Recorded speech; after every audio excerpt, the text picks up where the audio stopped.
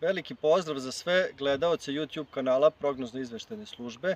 Moje ime je Milan i danas se sa svojim timom iz regionalnog centra Novi Sad nalazim na Fruškoj gori u zasadu vinove loze. E, današnji klip posvetit ćemo cikadi Scafoideus titanus, izuzetno značajnoj štetočini u našim zasadima vinove loze, koja je vektor fitoplazme flavescens dore, odnosno zlatastog žutila vinove loze. Cikada Scafoideus titanus ima jednu generaciju godišnje i prezimljava u stadijumu jaja ispod kore dvogodišnjih lastara. U proleće započinje piljenje larvi koje prolaze u svom razvoju kroz pet razvojnih stupnjeva. Odmah po piljenju larve odlaze na naličje listova gde se ishranjuju sisanjem sokova iz floema. Štete koje nastaju usled ishrane larvi su beznačajne. Ono što je značajno za naše proizvođače je vektorska uloga ove cikade, odnosno njena sposobnost da prenosi fitoplazmu flavescens dore sa zaraženih čokota na zdrave.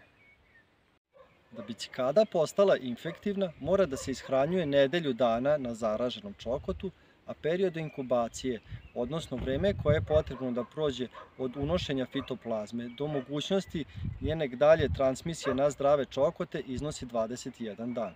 To znači da su tek larve trećeg razvojnog stupnja sposobne da prenesu fitoplazmu.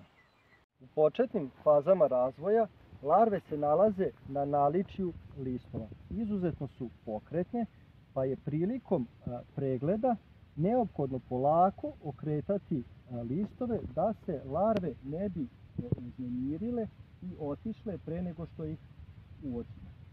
Kao što možete da vidite, na ovom listu imamo larvu prvog razvojnog stupnja, što znači da je u toku početak piljenja larvi ove štetočine.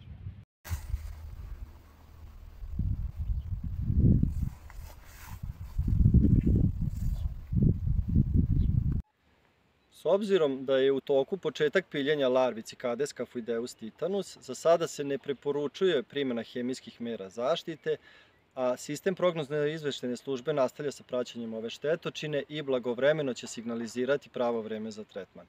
Veliki pozdrav od ekipe iz regionalnog centra Novi Sad.